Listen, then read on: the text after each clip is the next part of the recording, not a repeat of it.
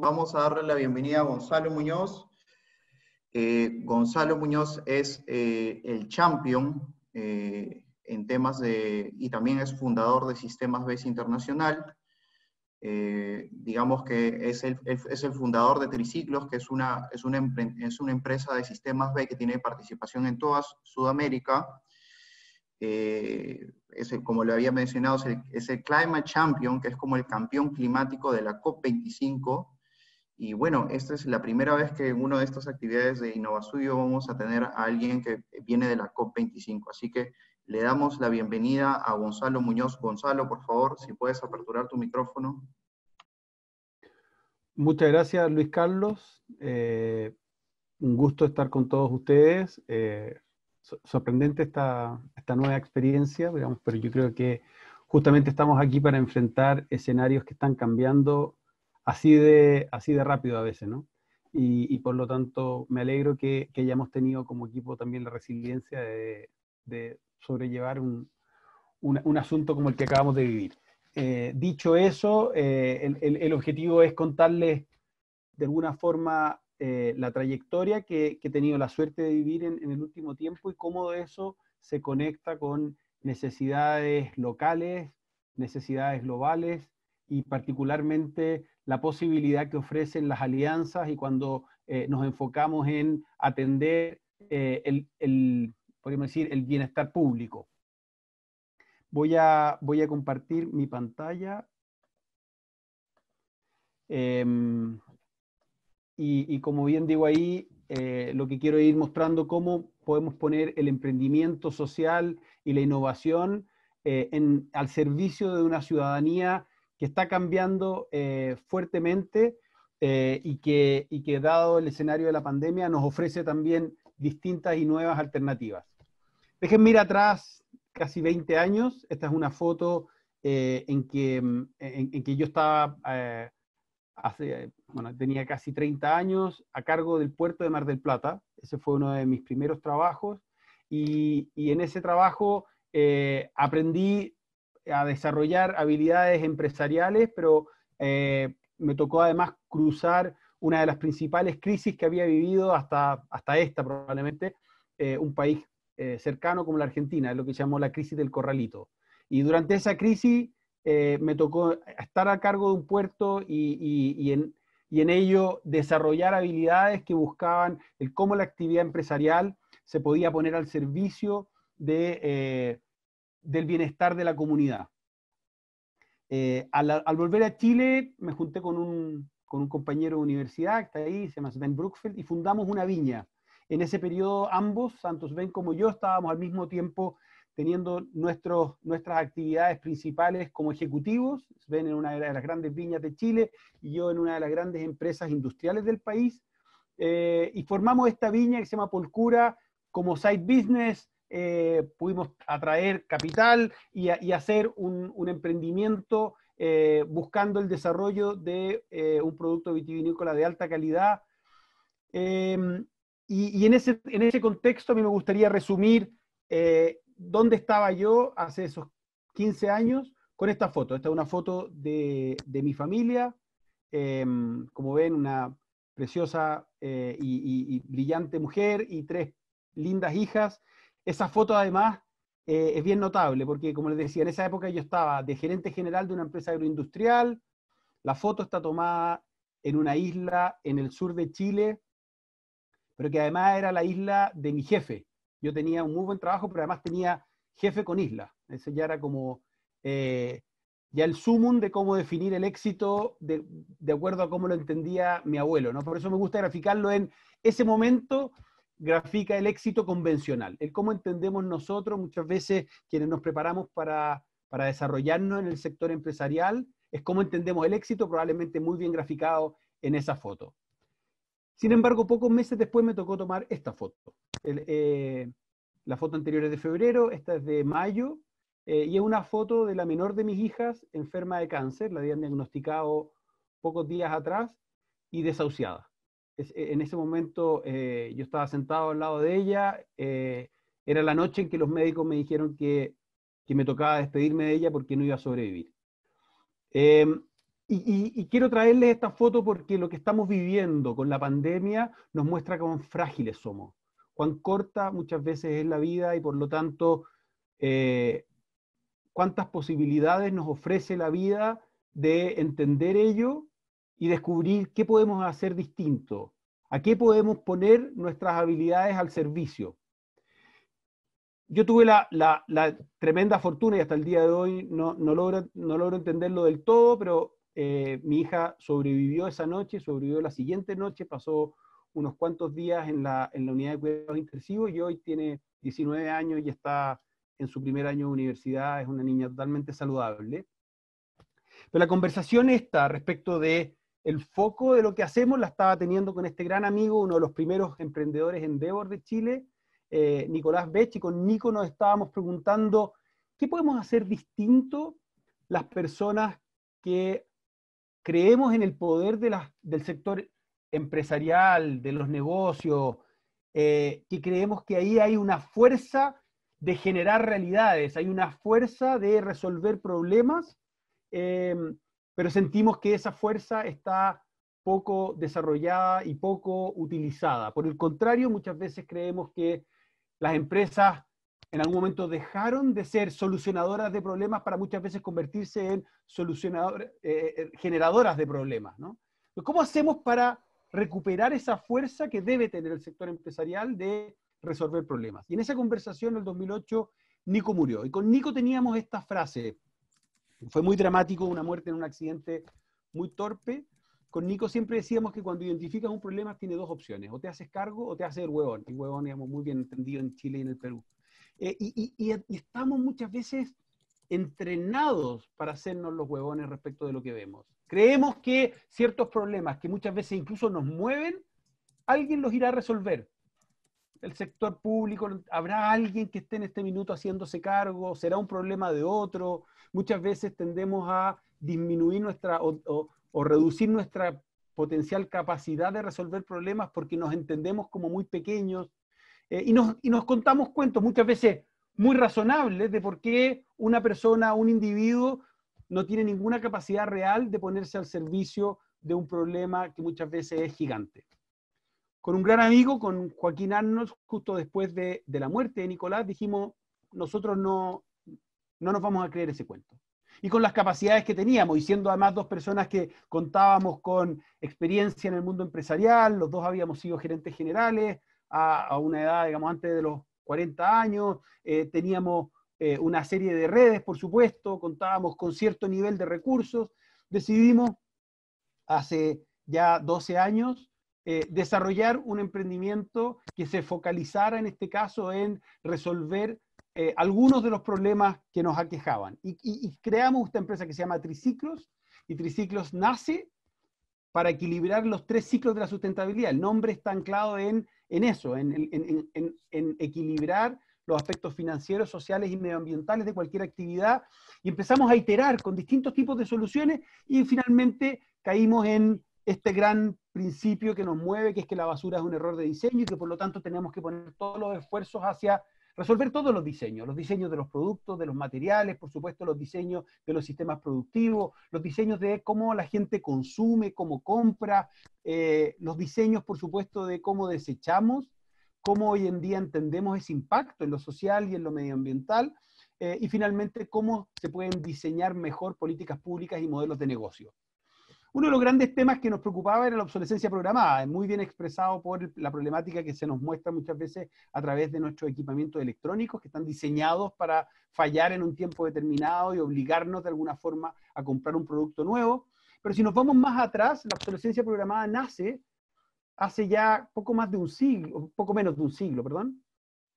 con productos como esto, como las panty media, no sé cómo se les llama en el Perú, eh, que como ven ahí en la imagen de arriba, antes se publicitaban con un vehículo tirando a otro, a ese nivel de resistencia. Pero lo que pasó ahí fue que los fabricantes de este producto se dieron cuenta que si fabricaban productos tan resistentes iban a fabricar pocos. Y por lo tanto los empezaron a diseñar de una manera distinta. Hicieron lo mismo con las ampolletas, con los focos de iluminación, en que no solo rediseñaron cómo se fabrica el producto, sino que rediseñaron nuestras mentes, rediseñaron nuestras facultades, rediseñaron las universidades, rediseñaron la forma de formar y educar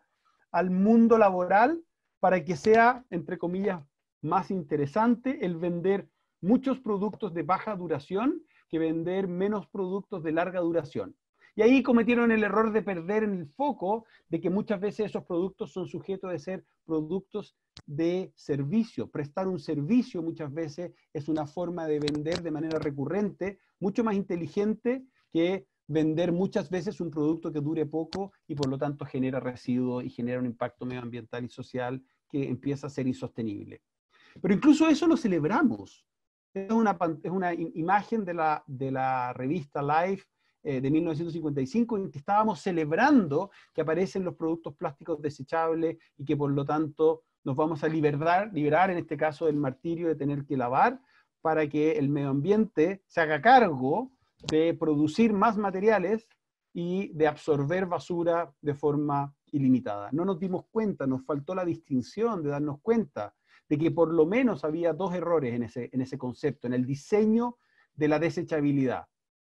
El primer error es que la naturaleza no tiene la capacidad infinita de producir materiales y por otro lado la naturaleza tampoco tiene la, capacidad infinita de absorber residuos. Ese error lo redujimos en nuestras mentes y anclamos una cantidad enorme de modelos de negocio en la desechabilidad, que es algo que hoy en día estamos necesitando eh, resolver a partir de diseños de nuevos modelos. ¿no? En nuestro caso montamos una lógica basada primero en puntos limpios que servían a la comunidad como un modelo, además de dar oportunidades de trabajo a los recicladores de base, que en países como Chile o el Perú cumplen un rol fundamental de estar muchas veces escarbando eh, en los residuos domiciliarios de una forma muchas veces totalmente insalubre, en la oscuridad. Entonces lo que dijimos fue hagamos un espacio donde los ciudadanos puedan llevar los materiales, puedan interactuar con un reciclador o recicladora de base que preste un servicio, sea pagado o pagada por ese servicio, pero al mismo tiempo la ciudadanía aprenda a segregar hasta 25 tipos distintos de materiales y de esa forma entiendan que muchas veces el error está en nuestra decisión de compra y que si nosotros vamos cambiando las decisiones de compra, podemos potencialmente enviar el mensaje correcto hacia las marcas para que ellas empiecen a cambiar la forma de diseñar, de forma de garantizar que al final los productos sean circularizables, se, les pueda cerrar el ciclo y podamos ir depurando el gran sistema productivo de aquellos materiales que no tienen forma de llegar a circularizar. Pero al mismo tiempo poniendo lógica y incentivo en cuánto más podemos mejorar nuestra cultura hacia modelos de reuso de materiales, de reparación, de compartir. Cómo vamos posicionando también una lógica, una cultura que busca cambiar eh, la forma como se, de nuevo, se diseñan los productos, se diseñan los modelos de negocio y se entiende el consumo.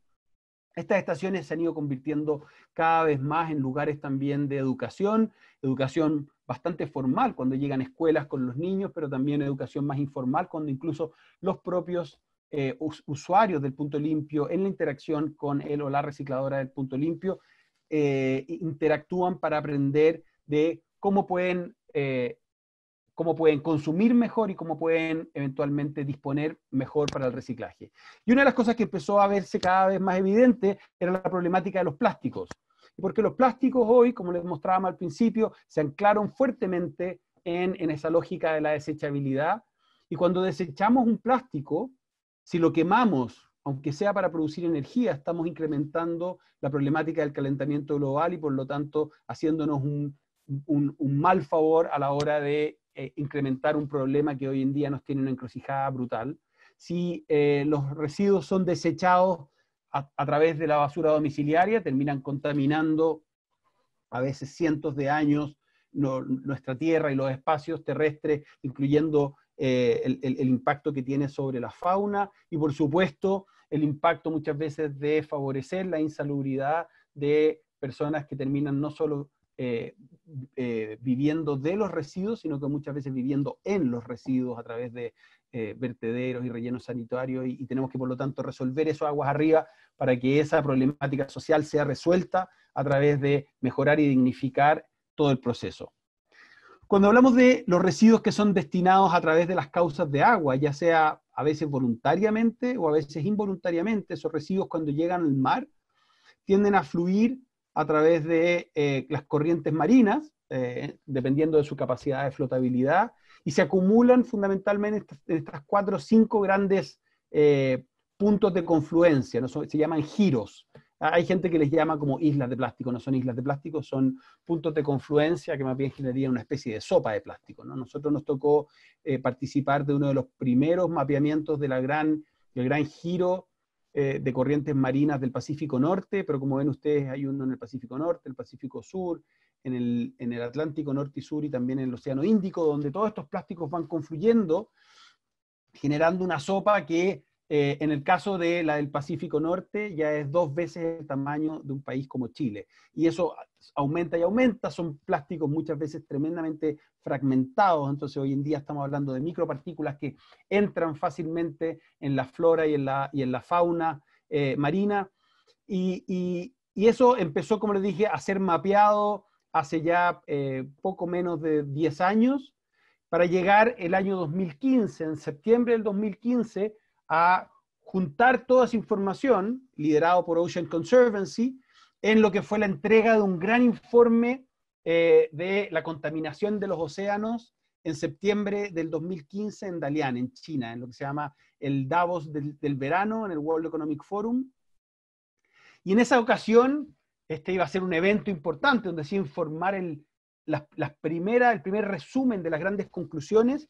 eh, nos juntamos en China en lo que yo creí que iba a ser un gran evento. Evidentemente todos los eventos del World Economic Forum tienen una serie de, eventos paralelos, ¿no? Pero yo sentía que este era uno de los más, una de las sesiones más importantes. A esa sesión llegamos no más de 15, 20 personas. En septiembre del 2015, la problemática del plástico en los océanos no le importaba a nadie, en términos relativos, ¿no? Eh, y, y comparativo respecto de otras temáticas. Y en ese momento, en septiembre de 2015, el presidente de Ocean Conservancy nos muestra a las 15, 20 personas que estábamos en esta sala realmente apretados, los resultados y nos muestra la cantidad de plástico que se está acumulando en los océanos es dramática. Hoy en día estamos aproximadamente con una tonelada de plástico cada 5 toneladas de peces en los océanos, 8 millones de toneladas siendo vertidas anualmente. Estos son los grandes puntos, estos son los tipos de materiales. Y como para todos quienes habíamos trabajado en ese informe, eh, se nos invitó a a Davos en, Suiza en enero del 2016, o sea, pocos meses después, para la entrega de lo que ya era un poco no solo el diagnóstico, sino también la propuesta. ¿Qué es lo que vamos a hacer con este problema? ¿Cómo nos vamos a organizar para también ir acercando las necesidades de la ciudadanía, de las empresas, de la sociedad civil? Llegamos a Davos en enero del 2016, en lo que ya iba a ser el lanzamiento de el nuevo, la nueva economía de los plásticos, el New Plastics Economy, y la sala, si bien estaba preparada para unas 200 personas, de nuevo éramos los mismos 15, 20 personas que estábamos en la sala, escuchando ya no solo que efectivamente había una estimación por peso de una tonelada de plástico por cada 5 toneladas de peces, sino que además para el año 2050 la estimación es que íbamos a llegar a una tonelada de plástico por igualdad de peces en los océanos. Así de dramática la tendencia y por lo tanto la sensación de que tenemos que hacer algo para que la gente se entere de esto. Miren qué sorprendente. Esto fue el 17 de enero del 2016. El 19 de enero del 2016, el Foro Económico Mundial lanza a través de sus redes sociales este comunicado. Más plástico que pese en los océanos, no si podemos actuar ahora. Ese comunicado, surgiendo como cualquier otro comunicado de una sesión que ocurre en el Foro Económico Mundial, es, es un hábito, digamos, salió junto a otros 100, 200 comunicados ese comunicado es el comunicado con mayor incidencia en la historia de las redes sociales del Foro Económico Mundial. Nunca antes un comunicado del Foro Económico Mundial había tenido ese nivel de intensidad y permeabilidad. Lo que les quiero mostrar es cómo las cosas están cambiando de rápido. El 19 de enero del 2016, este tema pasó a ser parte de lo que nos mueve al punto de que hoy tenemos políticas públicas ocurriendo en prácticamente todos los países del mundo, en prácticamente todas las ciudades, todos los municipios estamos preocupados de cómo resolver la problemática del plástico. Se posicionó y hoy en día existe eh, esta lógica en la cual desde Triciclos hemos contribuido activamente a desarrollar la, la macroestrategia en materia de plásticos, cómo lo llevamos a la, a la lógica que hace operar a las empresas, eh, tomamos eh, el contacto con, William McDonough, el padre de la economía circular, lo invitamos a Chile eh, para que pudiese participar en una conversación, en ese caso con, la que era en ese entonces la ministra de Medio Ambiente y con el actual presidente, para que no solo se conocieran, sino que además se buscara eh, desarrollar políticas públicas. Ese día me tocó estar presente en la conversación entre Bill McDonald, la ministra y el presidente, y a la semana siguiente sale la, prohibición nacional de bolsas plásticas eh, desechables, eh, generando un punto de inflexión que, empezó a cambiar la lógica a nivel nacional de cómo entender el tema de los plásticos. Eso era abril del 2018. En octubre del 2018 me tocó el honor de unirme a un grupo de poco menos de 20 eh, personalidades del mundo, firmantes de esta carta que dice tenemos que marcar una línea en la, arena. No podemos seguir avanzando con la problemática de los plásticos como hemos estado hasta ahora y creamos esta gran eh, lógica de hay tres macro conceptos, tenemos que eliminar todos los plásticos que no nos sirven, eh, tanto en los diseños como en el uso habitual, tenemos que innovar fuertemente para cambiar la lógica de los plásticos y finalmente tenemos que fortalecer los mecanismos para circularizar la mayor cantidad de plásticos posibles. Eh, a continuación, en junio del año pasado, lanzamos el, como tercer país del mundo el Pacto por los Plásticos, eh, después del Reino Unido y Francia, coordinando a los distintos actores que estaban vinculados a la, temática de plásticos eh, para buscar cómo fortalecer un, entendimiento común de la problemática y de las soluciones. Estamos hablando del sector privado, por supuesto coordinado por el Ministerio de Medio Ambiente, los distintos municipios, las universidades, los centros de investigación y desde luego los ONG y la ciudadanía participando en ver qué es lo que estamos disponibles para hacer. Eh, eso nos llevó también a estar apoyando en, Uruguay al diseño e implementación de, eh, de, ciertos plásticos, como se entienden, eh, el diseño de una, eh, de, o participación de un modelo de ecoetiquetado, ordenanzas municipales en los distintos, en los distintos municipios del país, buscando cómo podemos ayudar a que a nivel municipal también se establezcan los incentivos correctos para cambiar la lógica de la máxima desechabilidad de los plásticos. Hasta incluso participar de hoy en día de la hoja de ruta de economía circular del país. ¿Por qué les muestro todo esto? Porque no es lógico que una empresa o un grupo de empresarios, emprendedores, lleguen a participar tan activamente en políticas públicas, en definir todo esto, la gran, gran mayoría de lo que le acabo de mostrar es tiempo destinado de forma gratuita a construir un ecosistema donde seamos parte de eh, generar el virtuosismo que se requiere y las coaliciones y las alianzas público-privadas para simplemente crear un ecosistema que sea cada vez más inteligente, entendiendo un problema y poniendo todas las capacidades a disposición de construir ese futuro que estamos eh, observando, que estamos eh, visionando para quizás 10, 15 años más. No es lógico, pero sí es lógico. Eso es lo que tenemos que cambiar. Tenemos que cambiar desde un, desde un concepto donde las empresas, en teoría, están al servicio casi únicamente de atender la maximización de las utilidades para accionistas, a un sector empresarial que está disponible para construir soluciones y soluciones que no sean buenas solo en el corto plazo, sino que sean buenas en el largo plazo, soluciones que no solo sean buenas para pocas personas, sino que sean potencialmente buenas para todos, y que incorporen también a la naturaleza como un grupo de interés más.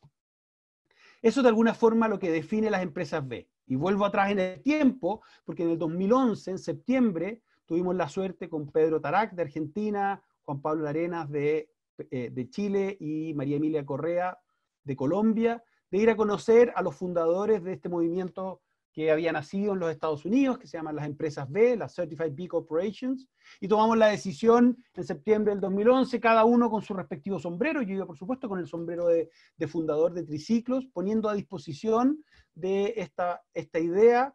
lo que era mi emprendimiento para ver si era factible que una empresa de el sur del mundo, de Chile en este caso, se pudiera certificar. Hasta, hasta esa época solo había empresas B certificadas en Norteamérica pusimos a disposición triciclos y Triciclos pasó a ser la primera empresa B certificada fuera de América del Norte y con eso espero que muchos de ustedes ya conozcan el movimiento de las empresas B. Logramos movilizar un movimiento que hoy en día tiene más de 3.300 empresas, está presente en 67 países en todos los continentes. Eh, y es notable como el primer impulso pudo haber sido, yo quiero ir allá y que mi empresa se certifique, punto. Y ese, ese podría haber sido mi objetivo. El objetivo era no solo mucho más relevante desde el punto de vista de crear un movimiento, sino que al mismo tiempo radicaba en la comprensión de que un individuo por sí solo no sirve de nada. Puede ser quien ayude a generar el primer impulso, o sea, en este caso, un primer follower, un seguidor de una idea, pero solo va a ser exitoso cuando sean muchos más los que se unen. Nuestro compromiso incluso con nosotros mismos y con nuestra misma organización debe estar también vinculado a generar ese ecosistema donde esas ideas brillen. Por supuesto, eh, poco tiempo después llevamos a que la viña también se certificara y, hasta el día de hoy, y espero hasta, hace, hasta pocos días o pocas semanas más, es todavía la única viña certificada de, de Chile. Hay otras dos en Argentina y hay muchas más en el mundo, pero esperamos que el sector vitivinícola también se mueva más rápido hacia entender la importancia de que no solo te mueva el hacer bien eh, tu producto, tu servicio, eh, y que sea de buena calidad, sino que también atienda directamente soluciones y por otro lado lo haga siempre aspirando a las mejores prácticas. Y desde ese punto de vista decidimos que la energía solar, la energía que íbamos a utilizar en la viña iba a ser 100% solar pero no solo iba a ser 100% solar y por lo tanto hoy en día estamos generando un 110% de la energía que necesitamos en la viña, sino que además la botella que estoy sosteniendo en la foto es una botella hecha con la mínima, mínima cantidad de agua que se requiere por litro de vino. Por ponerlo en números, una botella de vino, un litro de vino muchas veces consume más de, hasta, hasta más de 3.000 litros de agua por la cantidad de agua que se necesita en el regadío. Nosotros desarrollamos todo un modelo con distintas universidades hasta aprender a hacer vino con cero agua en el regadío, y por lo tanto esa botella usó, en vez de 3.000 litros de agua, usó 3 litros de agua para su producción. Nos comprometimos también a crear una red de viñateros que estaban todos operando desde esta lógica de eh, producir con alma, producir con un espíritu que nos moviera más allá de el producir un muy buen vino, es el movimiento de viñateros independientes de Chile, que lo que busca es no solo posicionar un vino, vino de alta calidad, sino que vino a escala humana, vino con espíritu y vino a partir de la asociatividad. Una de las grandes virtudes que tiene esa asociación es que cada vez que vamos juntos a una feria internacional, van dos o tres de nosotros. Hay 50 viñas, pero somos dos o tres los que vamos y representamos a todos los demás. Yo soy capaz de vender cualquiera de los viños, de los vinos de otros de los productores, porque entiendo el valor que hay en la asociatividad y cuando somos todos capaces de hacer que la ganancia, el logro, sea un logro colectivo por sobre el individual, termina también resultando que lo individual gana. Y eso también se puede vincular a grandes calidades, estos son algunos de los puntajes últimos que ha obtenido eh, la viña, digamos, y son vinos de altísima calidad y por lo tanto aquí también hay un factor de entender que si eso se empaqueta adecuadamente, logramos que los mercados efectivamente lo reconozcan y lo paguen. Ahora, esa lógica que les estoy contando desde lo individual hasta lo local, también tiene que empaquetarse en lo global. Y cuando hablamos de lo global, hay una gran agenda, que es la agenda de los ODS. La agenda de los ODS nos muestra una ruta clara de qué es lo que tenemos que lograr como humanidad al 2030. Y en ese rol, por supuesto, los estados cumplen un rol fundamental, pero las empresas y la ciudadanía también. Y me tocó la suerte de estar en, también en Davos en, eh, en, el año 2017 en una conversación con Paul Polman y que me dice, necesitamos generar la forma de articular que las empresas se vinculen de forma más, más simple, más lógica con los ODS y por lo tanto desde el mundo de las empresas B creamos esta herramienta que se llama el SDG Action Manager o el, eh, el, gestor de acción de los ODS, que ayuda a que las empresas entiendan a través de una métrica online gratuita cómo están atendiendo o no cada uno de los ODS para de esa manera vincularse a través de su cadena de valor, a través de su, de su equipo, a través del producto y servicio que prestan con esta agenda global. Y uno de los grandes ejemplos que me encanta traer a colación, particularmente estando acá con los amigos de Gulliver, es justamente cómo eso después se aterriza a través de las ciudades, a través de los territorios, cómo eso lo llevamos en la búsqueda de crear una cultura que movilice a las personas en su capacidad de atender cotidianamente esta agenda del 2030 y al mismo tiempo ir articulando un sector político local que tiene una fuerza de actuar muchas veces más rápida incluso que los gobiernos nacionales.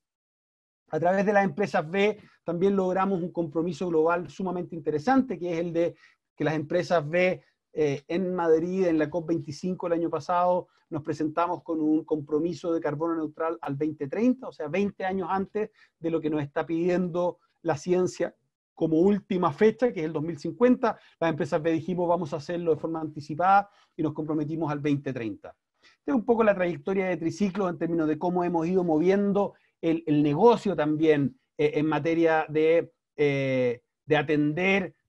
el, negocio mismo, del foco aguas abajo al foco aguas arriba, de cómo me voy articulando distintos clientes, pero fundamentalmente lo que quiero mostrarle es que en la medida en que nosotros somos capaces de crear negocios que están realmente orientados a servir al bien común, eso tiene un potencial muy alto de convertirse efectivamente en un buen negocio. Hoy en día estamos operando en 13 países eh, con distintos tipos de servicios,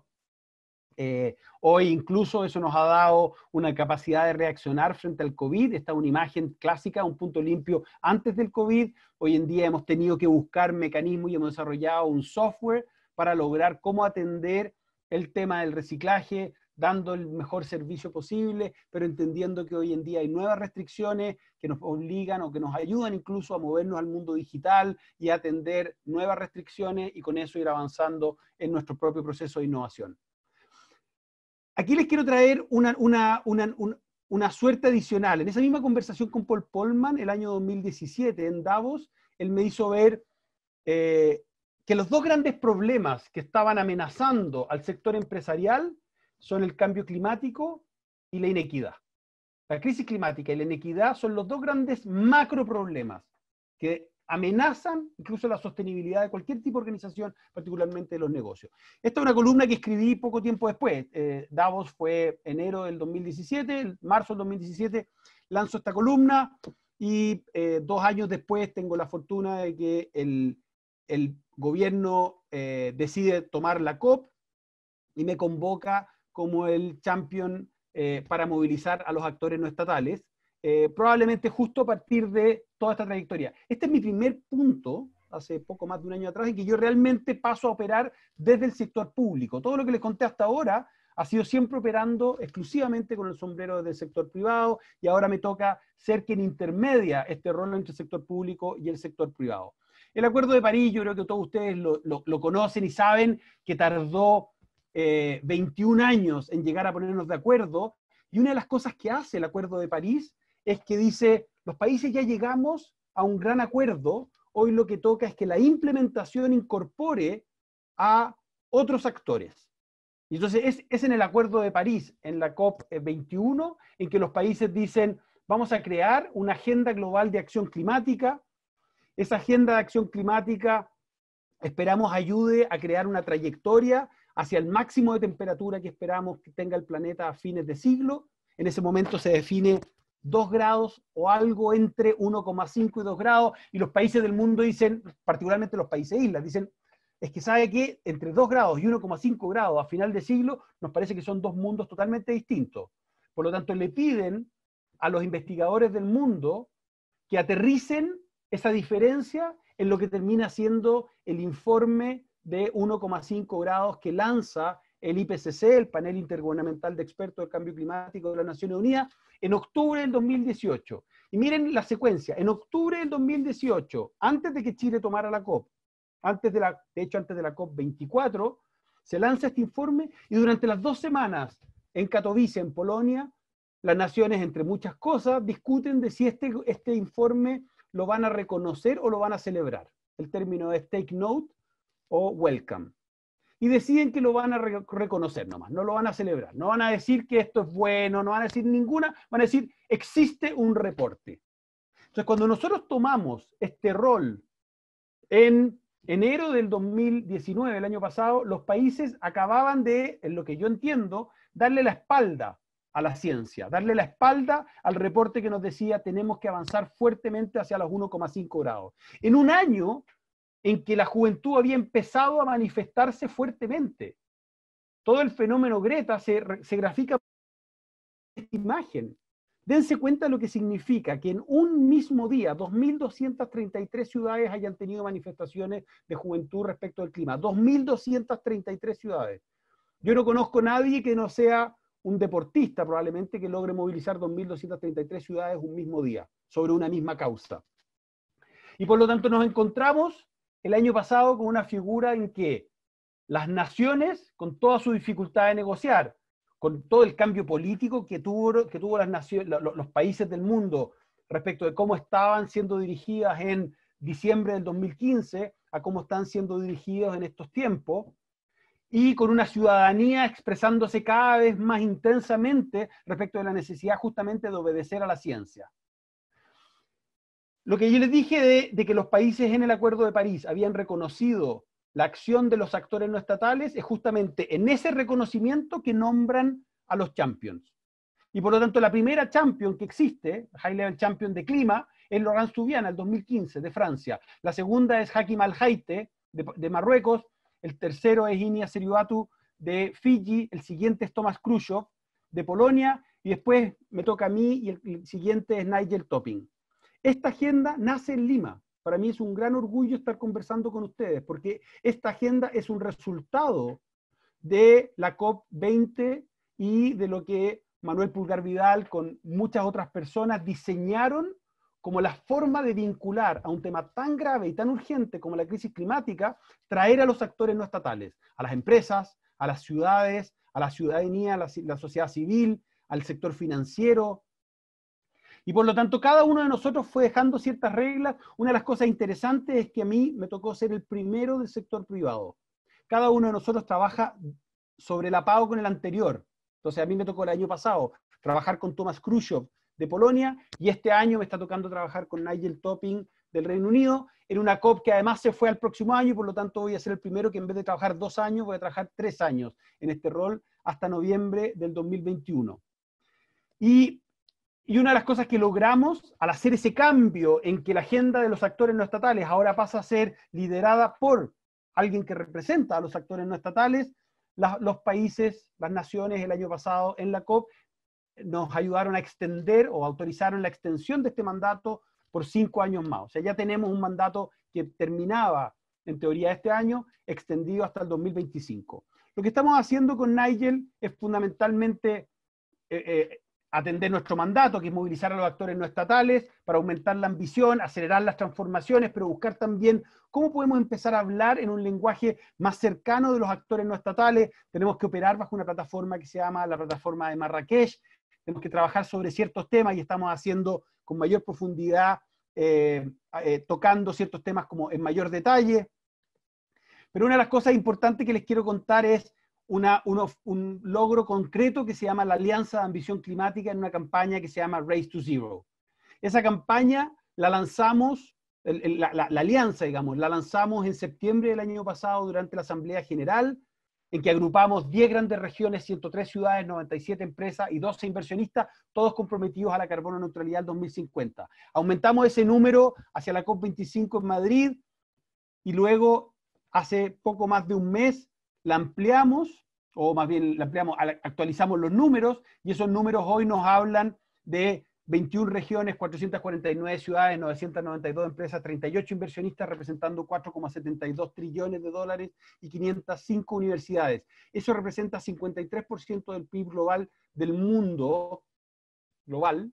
comprometidos a la carbono neutralidad al 2050. Ese número ya cambió porque hoy Apple anunció que se compromete a la carbono neutralidad al 2030. O sea, ya habría que sumarle lo que son eh, el, impacto asociado a una empresa del tamaño de Apple. Tenemos, por supuesto, a Amazon, tenemos a Microsoft, las grandes empresas, Unilever, Nestlé, etcétera, pero también hay empresas menores. Hay dentro de ese grupo 550 o más empresas B certificadas de distintos países, incluyendo varias del Perú que se comprometieron. Hay hoy en día, por supuesto, muchas ciudades. Eso representa 2,6 billones de personas en población, un tercio de la población del mundo. Les voy a dejar después el video de la campaña Race to Zero para que se sumen en cualquiera de sus dimensiones, como empresa, empresario, incluso como, como empleados de cualquier tipo de organización, pueden levantar la mano y decir qué pasa con la organización donde yo trabajo para lograr ser parte de algo que está poniéndonos al, al, servicio de una de las mayores crisis del mundo, pero que además, como les decía, nació en Lima. Por último, para ir contándole algunos detalles adicionales, esto me ha llevado a estar trabajando en la Estrategia Nacional de Hidrógeno Verde y la de Agua, y haber lanzado hace pocos meses atrás un llamado a la acción de cómo podemos poner al sector empresarial, a la sociedad civil, a la ciudadanía al servicio de una recuperación después de la pandemia que tenga en consideración estos aspectos de modo que ayude a acelerar un avance hacia la sostenibilidad.